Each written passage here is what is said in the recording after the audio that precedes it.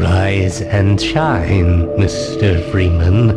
Rise and shine.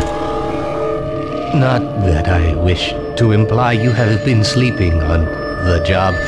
No one is more deserving of a rest, and all the effort in the world would have gone to waste until. Well, let's just say your hour has come again.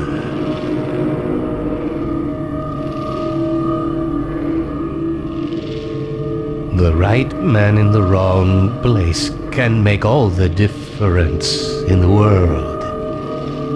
So wake up, Mr. Freeman.